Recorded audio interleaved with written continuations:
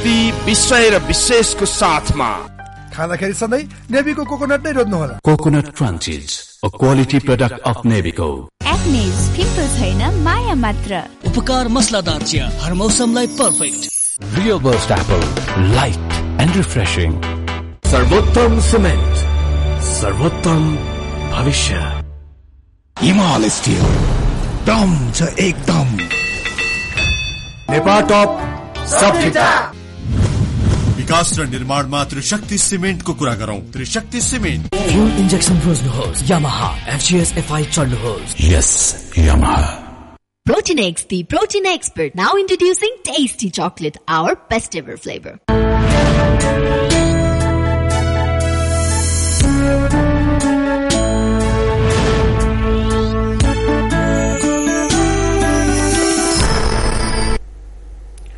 नमस्कार कार्यक्रम व्यक्ति विषय र विशेषमा तपाईँलाई स्वागत छ। म सरोज कोइराला।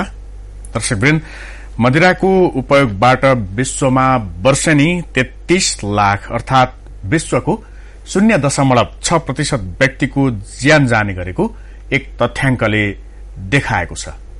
हाम्रै छिमेकी मुलुक भारतको बिहारमा मदिरा शून्य बनाउने एउटा अभियान चलाइएको छ। तर त्यसको प्रभाव हामी कहाँ परेको छ भनिँदै आएको छ। यी स्वास्थ्य सम्बन्धी विविध कुराहरूलाई मध्यनजर गर्दै सरकारले बेला बेला मदिराजन्य पदार्थको उपभोगमा केही नियमहरू ल्याएको देखिन्छ र सुर्तीजन्य पदार्थहरूमा केही कडाई गरेको देखिन्छ। तर त्यो त्यति सशक्त ढंगले लागू भएको कार्यान्वयनमा आएको देखिँदैन। यति नै बेला यही सन्दर्भमा मदिरा व्यवस्थापन अभियान चलेको छ र यसले मदिराको उपभोग बिक्री वितरण सबैलाई व्यवस्थित गरेर लैजानुपर्छ। होइन भने यसले समाजमा एउटा भयावह स्थितिको सिर्जना गर्छ भन्ने कुरा आइरहेको छ। यिनै सन्दर्भमा कुराकानी गर्न आज हामीले स्टुडियोमा मदिरा व्यवस्थापन अभियानका एकजना अभियन्ता फणिराज नेपाललाई निम्ति आएका छौं। स्वागत छ यहाँलाई। नमस्कार। हजुर यहाँहरूले यो मदिरा व्यवस्थापन गर्नु पर्यो भनेर एउटा अभियानै चलाउनु भएको छ। कस्तो अभियान हो? के हो यहाँहरूको भनाइ मदिरा हाम्रा हाम्रो देश चाहिँ कस्तो हो भने बोल्न सक्ने अवस्थाको बालकलाई पनि जहाँ जहाँ चुरोट मदिरा लिएर आइज भन्ने किसिमको अवस्थाको देश हो। अब अहिले अलिकति शिक्षा यातायात संचार यिनीहरूको प्रभाव अलिकति विस्तार हुँदै गइसकेपछि यो चाहिँ अझ विस्तार भएर गएको छ। तर त्यस विस्तारलाई हामीले यो स्वास्थ्यको हिसाबले सुरक्षाको हिसाबले हेर्ने गरेको अनुभव गरेका छैनौँ। सरकारले यसलाई खुला छुट दिएको छ। अहिले हामीले अनुभव गर्यौँ भने सहर बजारमा हेर्न जाउँ प्रत्येक दुई चारवटा दोकानपछि एउटा मदिरा पसल हुन्छ। अनि सरकारको काम चाहिँ खालि राजस्व असुल गर्ने हो कि नागरिकको स्वास्थ्यप्रति जिम्मेवार हुने। हामीले पठाएका प्रतिनिधिले यो नागरिकको स्वास्थ्यलाई के के कुराले असर गरिरहेछ भन्ने कुरामा चाहिँ ध्यान नै दिँदा यो समस्या बढेर गएको छ। मदिरा खाएर मान्छेलाई विभिन्न किसिमको रोग लाग्छ। मुटु आमाशय कलेजो होइन प्रेसर सुगर अनि नियमित खाने भने त्यो मान्छेलाई क्यान्सरको सम्भावना बढेर जान्छ। त्यस्ता खालका कुरामा सरकारको लगानी कति बढ़िरहेछ भन्ने कुरो आकलन गर्न सकेका छैन। राजस्व उठाउँछ यसले थोरै भनेको लगभग मलाई लाग्छ यो तिहत्तर चौहत्तरको पनि आमदानीको कुल राजस्व आमदानीको एक पोइन्ट बाइस पर्सेन्ट मात्र आमदानी छ मदिराबाट। त्यसको खरबौं खर्च हुन्छ अस्पतालमा अस्पतालको निर्माणमा जनशक्तिमा साधनमा अनि त्यस्तो कुरालाई चाहिँ कसरी नजरअन्दाज गरेको सरकारले यो बुझि नसक्नु छ सरकार जिम्मेवार चाहिँ हुनुपर्छ यस विषयमा भन्ने हाम्रो व्यवस्थापन भन्नाले कस्तो व्यवस्थापन यो व्यवस्थापन एकदम सही कुरो हो। यो अहिले अघि मैले भने प्रत्येक दुई चार घरपति मसिर मदिरा पसल छ। यस्तो किसिमको हुनु कुनै पनि दृष्टिकोणले सामाजिक दृष्टिकोणले आर्थिक दृष्टिकोणले अनि सांस्कृतिक दृष्टिकोणले पनि राम्रो कुरो होइन। अनि हामीले चाहिँ के भनेका छौँ भने कम्तीमा पनि यो अवैध मदिराहरू धेरै प्रचलनमा छ। लाइसेन्स लिएर लाइसेन्स दिने निकाय पनि चारवटा छन् नेपालमा। एउटा राजस्व नगरपालिका उद्योग वाणिज्य। यी चार चारवटा निकायले दिएको राजस्व दिएको अनुपत्र पत्रले धेरैहरू खुलेका छन् तर त्योभन्दा धेरै चाहिँ अवैध मदिराको बिक्री छ। त्यसले के गर्छ? स्वास्थ्यमा हानिकारक स्थिति ल्याइरहेको छ। अनि त्यसले गर्दाखेरि हामीले कम्तीमा पनि यो अवैध मदिराहरू नियन्त्रण हुनु पर्यो पुरै। अनि दोस्रो कुरो हामीले के भनेका छौँ भने मन्दिर मस्जिद विद्यालय अस्पताल र साधन स्थलको पाँच सय मिटर बाहिर मात्रै मदिरा व्यवसाय पसलहरू सञ्चालन गर्ने पाउने व्यवस्था गर्नु पर्यो भनेका छौँ। जस्तै बिहारमा पूर्ण शराबबन्दी शराबबन्दी छ। बिहार नेपाल भनेको लगभग अठार सय किलोमिटर खुला बोर्डर हो।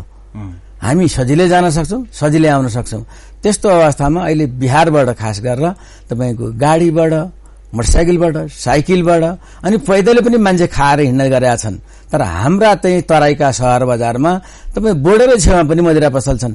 त्यहाँका स्थानीय निकायहरूले चाहिँ यस्ता कुरालाई याद गरेका छैन। जबकि त्यहाँ एकदम कन्ट्रोल छ त्यहाँ नियन्त्रणका कुराहरू छन्।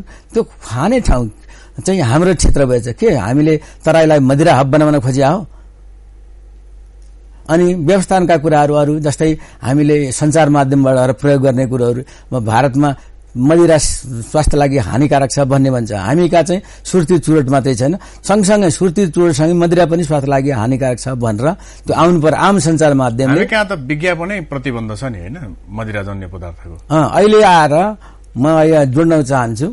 यो होल्डिङबाट हटाउने कुराहरू आयो र विज्ञापन हटाउने कुराहरू आयो। यो भर्खर पन्ध्र बिस दिन एक महिना अगाडि यहाँ काठमाडौँ जिल्ला प्रशासनको नेतृत्वमा नगरपालिका र प्रहरी भएर हट होर्डिङबाट हटाए के नेपालको नेपाल भनेको देश राजधानी मात्रै हो? अनि अरू सहर बजारमा चाहिँ स्वभाव बिग्रिया छैन त्यहाँ अव्यवस्था छैन तिनीहरू त्यहाँको चाहिँ हडिङहरू हटाउनु पर्दैन विज्ञापनहरू हटाउनु पर्दैन। यो कुराका लागि मैले आफ्नो सक्रियतामा परमादेशको प्रतिलिपि लिएर अहिले गृह प्रशासन गृह मन्त्रालयमा पेश गरिरहेको छु। त्यो अधिराज्यभरि सर्कुलर हुनु पर्यो परिपत्र गरेर। त्यहाँ पनि त्यस्तो किसिमको वातावरण मिलाउने वातावरण बिगार्ने काम भइरहेछ त्यसलाई मिलाउनलाई त्यो आदेश गर्नु पर्यो गृह मन्त्रालयले र परिपत्र गरेको आधारमा स्थानीय प्रशासनलाई पनि होर्डिङ बोर्ड विज्ञापनहरू सबै हटाउनु पर्यो भन्ने हाम्रो माग छ। जस्तो मदिराजन्य पदार्थको यहाँले त्यो स्वास्थ्यको लागि हानिकारक छ भन्नु पर्यो भन्नुभयो। त्यसको त अब विज्ञापनमै प्रतिबन्ध छ जस्तो होइन मिडियाहरूमा। भनेपछि अब त्यो विज्ञापनै नगरेपछि त्यसलाई विज्ञापन एउटा। कुरो विज्ञापन गर्दाखेरि भन्नुपर्छ। नजरअन्दाज भयो। तर अनुमति दिने फुल्ने फुल्ने क्रम बढिरहेको छ नि। जस्तै एउटा सानो उदाहरण दिन्छु। नेपालमा मदिराका उद्योगहरू बाहन्न बढी छन्। सबै नचल्या होलान् तर त्यहाँबाट उत्पादित मदिरा हुँदा हुँदै बाहिरबाट तीस बत्तीस अरबको आयात हुन्छ। महिने पछि। 30 के गर्न अरबभन्दा खोज्छ? बढीको आयात हुन्छ हुन्छ। लगभग। अनि सँगसँगै तिनीहरू त्यस्तो किसिमको स्थितिमा हामीले विज्ञापन गरेर के भन्छ र अब विज्ञापनमा रोक लाएर त्यो त हामीले कम्तीमा पनि मापदण्ड छैन अर्को कुरा हेर्नुहोस्। नेपाल गुणस्तर खाद्य तथा प्रविधि गुणस्तरले त्यो मापदण्ड तोकिसकेका छैन। उसलाई पनि बाध्यता होला केही। मैले त कुरो पनि गरिरहेको छु। यस त्यस्तो हरेक कुराको मापदण्ड तोक्ने काम भइरहेको छ। तर हामी कहाँ उत्पादित मदिरा प्लस बाहिरबाट आयातित मुद्राको त गुणस्तर र मापदण्ड तोक्ने काम भएको छैन। अनि हामीले कस्तो खालको मदिराहरू खुवाइरहेछौँ नागरिकलाई? उनीहरू यसबाट कस्तो असर परिरहेछ? त्यो नाप जाँचका कुरा त धेरै टाढाको कुरा भए। अनि अर्को कुरो हामीका अभेद त छत्ताछुल्ला गाउँ कुना सबैतिर छ। त्यो अभेदले गर्दाखेरि कतिपय जिल्लामा मान्छे मरिरहेको उदाहरणहरू आइरहेछन् पत्र पत्रिकामा त्यस्तातिर पनि ध्यान दिनुपर्छ। सरकारको काम खास गरेर जनप्रतिनिधि जाने मान उसको प्रतिनिधित्व काम चाहिँ नागरिकको स्वास्थ्यलाई बढी ख्याल गर्नुपर्ने हो। यसरी आवाज उठाउँदा पनि यो खा यस विषयमा कानून नबन्नु भएका कानून पनि खारेज हुनु। एउटा सानो उदाहरण सुनाउँछु म तपाईँलाई।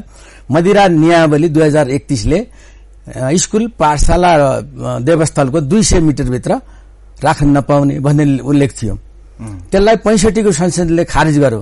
तर एउटा प्रावधान चाहिँ के अड्काइरह्यो भने नि यो उनीहरूको नियत हो ध्यान नपुगेको। बिहान दस बजेदेखि राति दस बजेसम्म खुला राख्ने भनेर त्यो चाहिँ छुटिरहेछ। भन्न खोजेको के? दिनरात तिमीहरू खाएर बसिराख र त्यसैमै रुमिलिराख। अब जसरी तराईको हामीले अनुभव गरेको तपाईँको रिक्सा चालकले बिहानै मदिरा खाएर हिँड्छ रिक्सा चलाउँछ। त्यस्ता कुराहरू बिहानदेखि नै खाने किसिमको खुल्ला गर्नु सरकारको नजर पर्नु पर्दैन। उसले नागरिकको स्वास्थ्यलाई ख्याल गर्नु पर्दैन। विदेशतिर हो भने तपाईँको सुरक्षाको हिसाबका कुराहरू पनि आउँछ। यसले सुरक्षालाई पनि थ्रेड गरेको हुन्छ। विदेशतिर तपाईँको सुरक्षामा म यति तिन मिनटमा चाहिँ त्यहाँ पुग्छु भन्ने किसिमको भयो भने त्यो निर्वाचनमा जा जित्ने आधार हुन्छ। हामीकालाई त यसलाई कुरालाई त ख्याल ख्याल जस्तो समिन्छ नेपालमा भारतको बिहारमा शराबबन्दी एउटा अभियान चलेको छ। पूर्ण शराबबन्दी। त्यसको चाहिँ प्रभाव नेपालको तराईमा विशेष रूपमा परेको छ एकदमै प्रत्यक्ष परेको छ भनेर यहाँले पनि भन्नुभयो। अवस्था कस्तो अहिले? पूर्ण प्रभाव परेको छ कस्तो? पूर्ण शराबबन्दीको त्यो खुला अझ व्यवसाय व्यवसाय विस्तार नकारात्मक प्रभाव। नकारात्मक प्रभाव। व्यवसाय विस्तार छ। अहिले म म आफ्नो अनुभवको कुरो गर्छु। तपाईँ बोर्डर साइडतिर धेरै खुलेका छन् बढेर गएका छन् र त्यसमा हाम्रा छोरीचेलीहरू पनि व्यवसाय गरिरहेछन्। भनेर तिनीहरूको अवस्था के होला? यस्तो कुरोहरू हामीले बडा बारम्बार उठाउँदा पनि स्थानीय प्रशासन पनि त्यसमा जिम्मेवार देखिँदैन। सरकारले माथि केन्द्रीय स्तरले पनि याद गर्नु पर्यो म एउटा सानो कुरा सुनाउँछु बिहारको।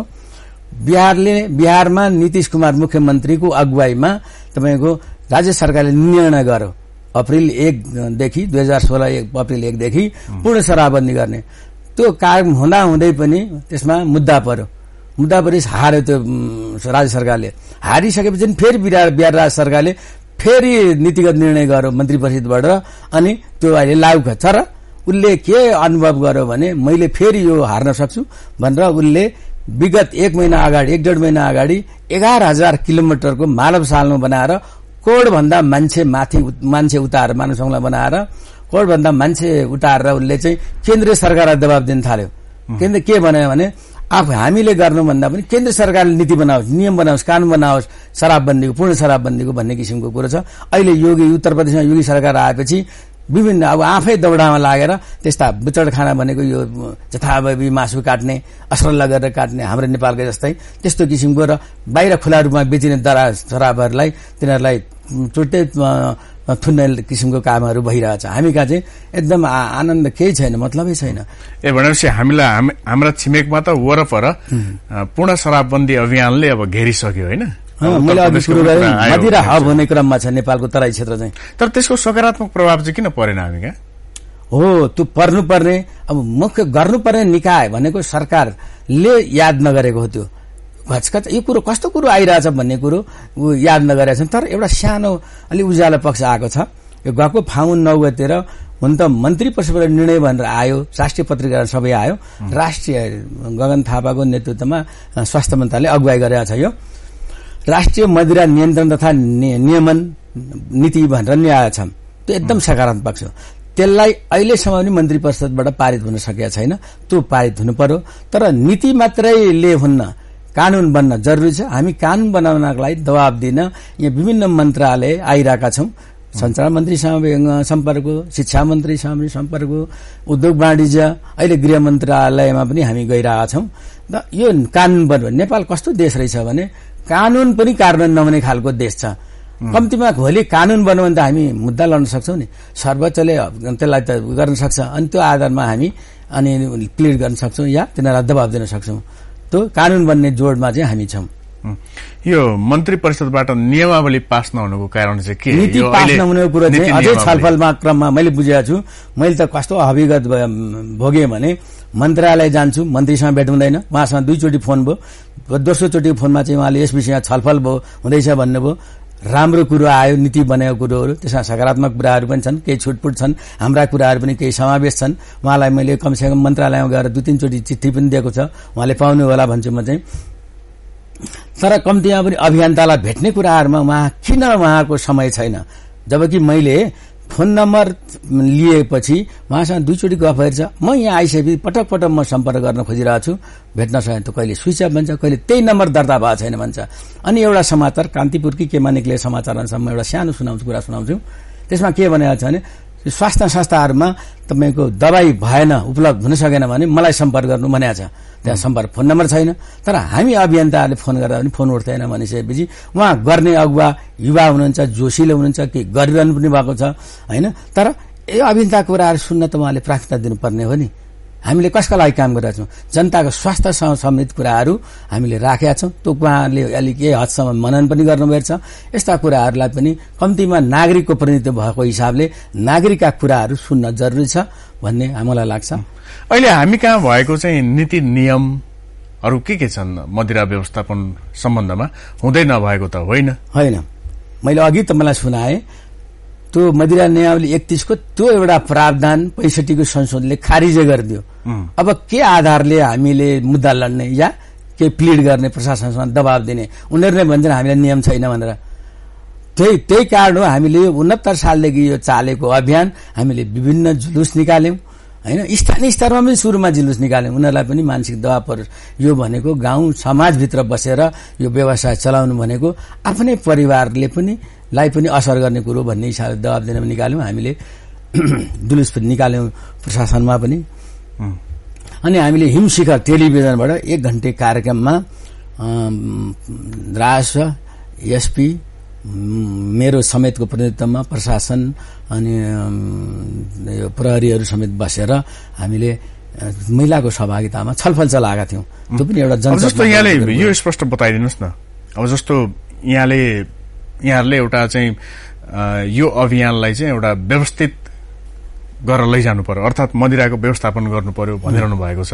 त्यसमा आवश्यक के के पर्यो? कस्ता नीति नियमले के भन्नु पर्यो? ऐन कस्तो बन्नु पर्यो? र त्यसको कार्यान्वयन कसरी हुनु पर्यो? यो कुराको स्पष्ट यो कुराको प्रसार हुन जरुरी पनि छ। हामीले कम्तीमा पनि अवैध मदिराहरू चाहिँ विस्थापितै हुनु पर्यो। त्यसलाई नियमित अगुवन अनुगमन गर्नु पर्यो। उहाँहरू हाम्रा स्थानीय प्रशासनहरू के गर्नुहुन्छ भने एकचोटि गयो हाँडा चण्डा उठायो तर त्यसपछि बन्द। भने दुई दिनपछि फेरि ल्याउँछ किनभने त्यसमा नाफा छ। तर उसले चाहिँ त पैसा कमाइ मात्रै हेरेको छ त्यसमा महिला प्रयोग बढी हुन्छ केटाकेटी पनि हुन्छन्। उसलाई कस्तो असर छ भने ऊ व्यक्तिले पनि बुझ्दैन।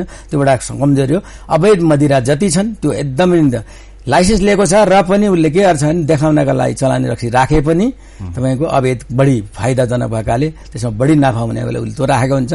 र हाम्रो एकदमै कडै कडाउ साथ त्यो अनुगमन हुनुपर्छ। त्यो अवैध मदिरा चाहिँ निस्ता- निस्तेज नै हुनुपर्छ।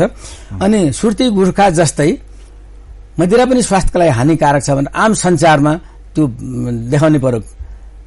त्यो अनिवार्य रूपमा देखाउनु सिनेमा हलमा पनि देखाउनु पर्यो। त्यसपछि मदिरा पनि स्वास्थ्यका लागि हानिकारक छ। यसका गुण अवगुणका कुराहरू लिएर पाठ्यक्रममा समावेश गर्नु पर्यो। किनभने केटाकेटीदेखि नै मदिरा गुटखा सुर्ती गुटखा जस्तै मदिरा पनि यो विभिन्न किसिमको रोग नसर्ने रोगको कारक हो भन्ने कुरोहरू विद्यार्थीले पनि जान्नु पर्यो। अनि एउटा व्यवस्था राति दस बजेदेखि के अरे बिहान दस बजेदेखि राति दस बजे खान पाउने जुन खुल्ला व्यवस्था छ यसमा नियन्त्रण हुनु पर्यो। अब हामीले व्यवस्था कति टाइम राख्नु हामीले व्यवस्थापनका कुरा गर्दै गर्दाखेरि सरी यसलाई कति कति समय चाहिँ राख्नु एकदम।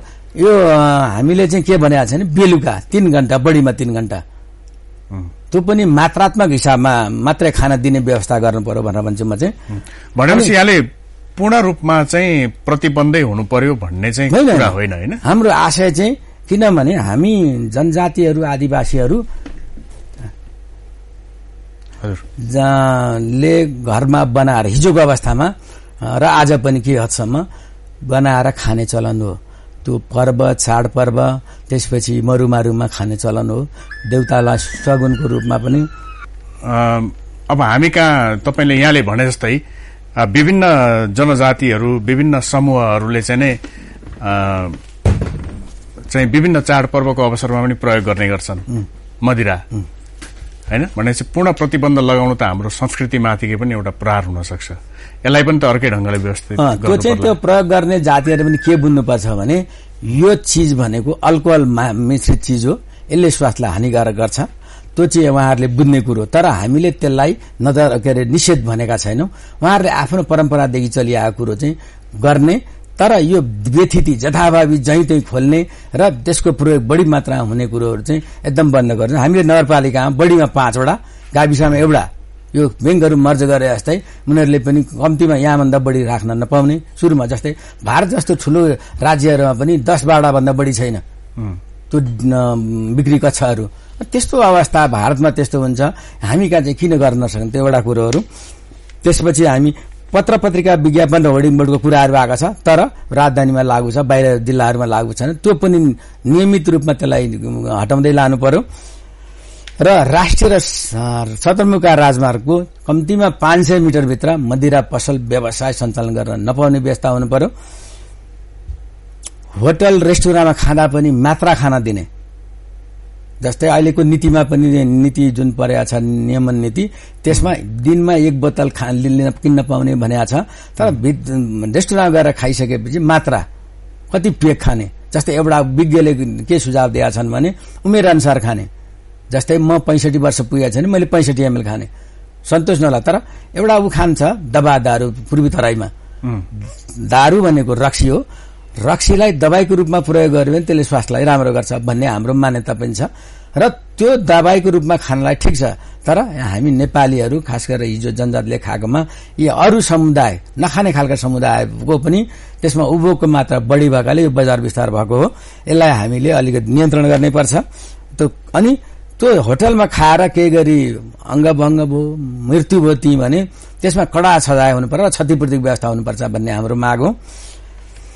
र मदिरा उद्योगलाई प्रोत्साहन नगर्ने जति उद्योग छन् अहिले तिनैलाई सीमित गर्ने र विस्तार नगर्ने र क्रमशः घटाउँदै लाने त्यो खालको नीति बन्नु पर्यो। र देशमा उत्पादित र आयातित मदिराको गुणस्तर मापन छैन। त्यसलाई एकदमै तत्कालै गर्नुपर्ने अवस्था छ। त्यो सरकारले चाँडै नीति बनाएर या प्रयोगशालाको व्यवस्था गरेर त्यो गुणस्तर नापन मापन गर्ने कार्य गरोस्। अब बिहारमा पूर्ण शराबबन्दी भइसकेको हिसाबले हामीले यसरी व्यवस्थित कुराहरू गर्न ध्यान दिन सकेनौँ भने हामी यो तराईलाई हब बनाउने हिसाबमा हुन्छौँ या पर्यटन उद्योग खोले जस्तै हामी तराईमा चाहिँ म, मदि मदिरा पर्यटन हब बनाउने हो कि सरकारको कस्तो खालको सोच छ मलाई लाग्छ यसमा विचार गर्नुपर्छ सरकारले भन्ने हो। अब यहाँले जति पनि कुराहरू भन्नुभयो नि अब यो यति मात्रा उति मात्रा भन्ने कुरा। अब यो त नियम कानूनले मात्रै निर्धारण गर्ने कुरा हो र। हो नियम कानूनले पनि निर्धारण गर्न सक्यो भने अनि अभियन्ताहरूले पनि दबाब दिन सक्छन्। हामीले व्यक्तिगत रूपमा सामूहिक रूपमा सामाजिक हिसाबले हामीले भनिआएको कुरा हो।